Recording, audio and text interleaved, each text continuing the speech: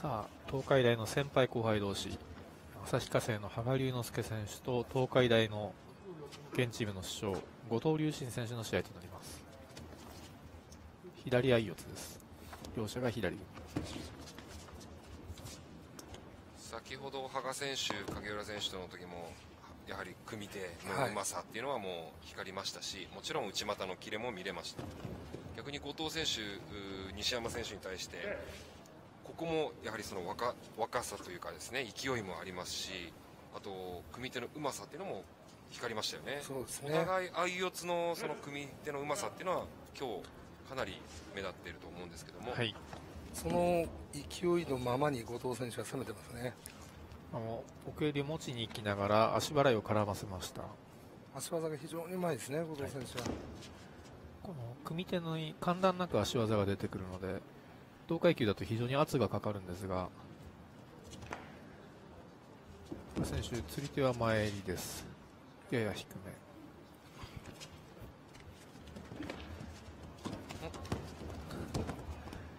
羽賀選手ちょっと軌道を変えてクロスで持ったんですが後藤選手がその懐の下から体をあの重心を制しに行きました。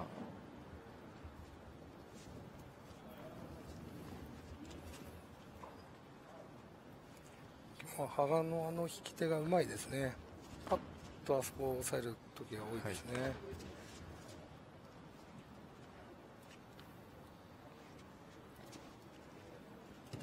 手を袖を押さえた羽賀選手釣り手の持ちどころを探って前襟から奥に回したんですが後藤選手が頭を使ってちょっと切り羽賀選手再び前襟1段2段と上げていきます。内股フェイントの小内刈り小変形で後藤選手の釣り手を落としながら釣り手が抜けました。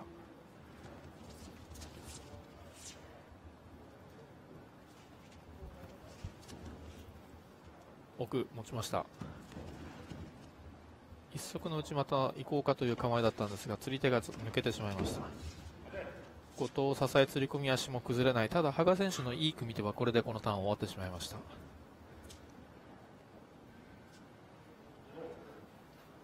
両者ですか？いらない。ちょっと解釈お互い攻め合ってると思います。し、はい、ちょっと解釈しかねる指導ですね、うん。お互いに攻撃しようとする姿勢があったんですけど、はい、そうでもうんちょっと消せない指導でした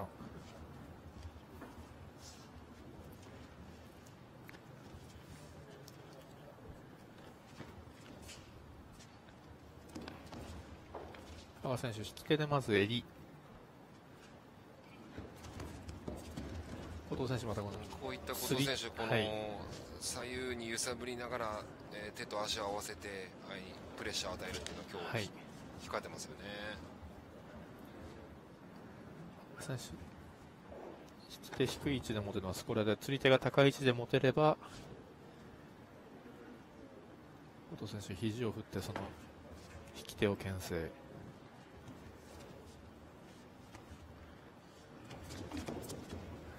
後藤選手、うまいですね。ですね羽賀選手が、えー、内側からですね肩越しから奥襟を持とうとするとそれに合わせて後藤選手も中に入ってきて、はい、大内刈りかけようとするのでなかなか大振りでは持ちにくいですよね。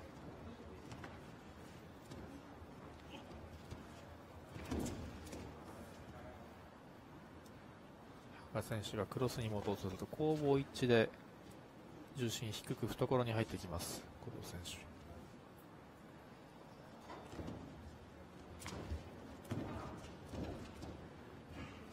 藤選手も内股あの切れますから、はい、お互い本当にに似たような柔道スタイルなんですよね。はい、はい、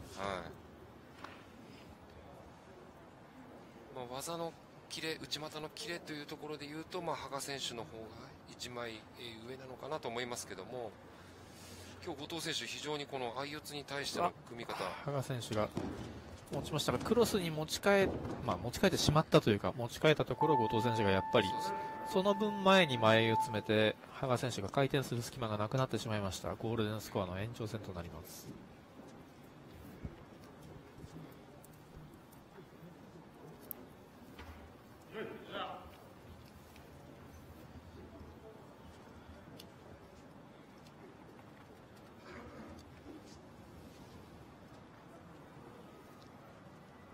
選手、引き手で襟を持って、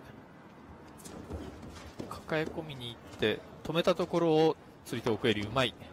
しかし、高藤選手、支え釣り込み足で外します。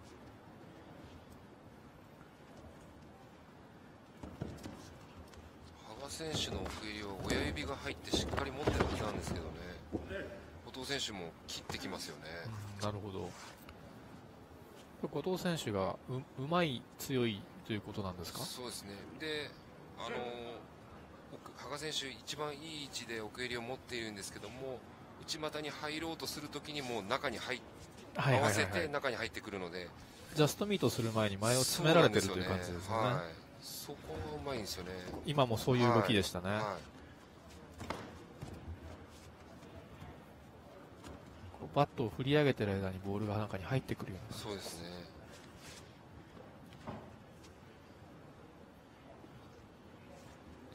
今いい位置ですねあこれは来るでしょう。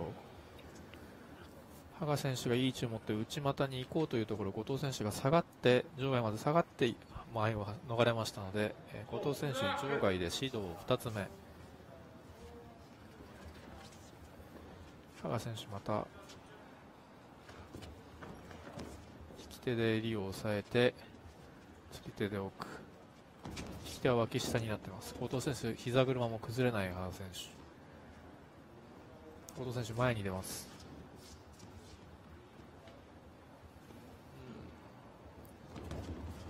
大内刈りから内股。羽賀選手、小内刈りを返します。ちょっと圧に負けて後藤選手、屈し膝を屈したところに羽賀選手が膝を入れてくる形になりました。うまいですね。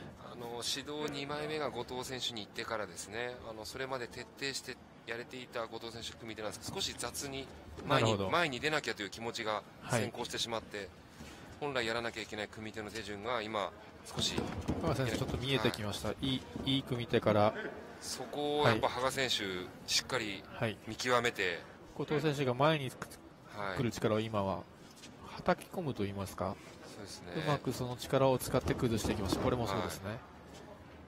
蹴り崩しなんですけれども、理屈は叩き込みに近いような技になっています。2回続きました。ちょっと出てもおかしくないかなと思ったんですけど、また基準の揺れが見えますかね。こういうとこ羽賀選手やっぱうまいですよねう百戦錬磨というか、はい戦い方が持ちました持ち方に大振りがないんですよね。いつも絡ませながら行くから、後藤選手が刃を入れる隙間が、時間的な隙間がない。ええーん、わかんないですね。どういうところで、さっきオースト1回っていう時もあったですからね。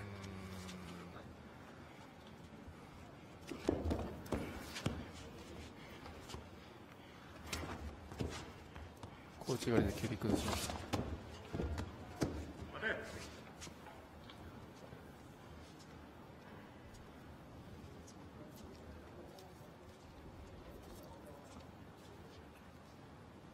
わかんないですね。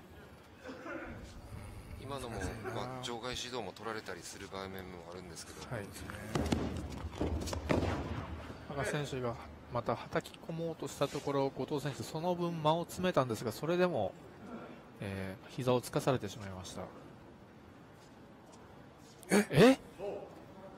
いや羽賀いやー、羽賀選手、ちょっとこれは主審いただけませんね。これはすごいな。これはいただけませんね。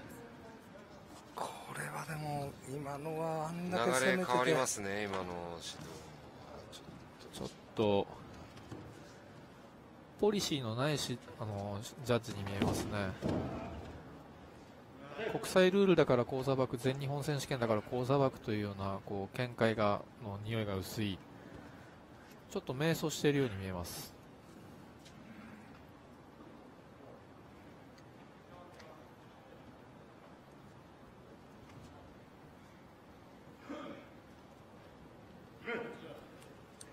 国際の基準に惑わされず、きちんと試合の文脈を踏まえて指導を出すという、例えばそういう方針で全日本をやるのであれば、こういう指導は出ないと、あの出し方はしないと思います。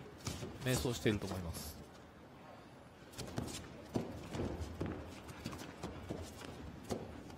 後藤選手、逆に勢いづいて、逆逆にねじった逆への浮き落としでしたねでもい今の指導の流れでいうと一本間違えればどっちに転ぶか分かんない展開になりかねないいやジャッジですよね。はい。はい。怖いですね。結果オーライなんですけどこれを結果オーライにしてはいけないと思います。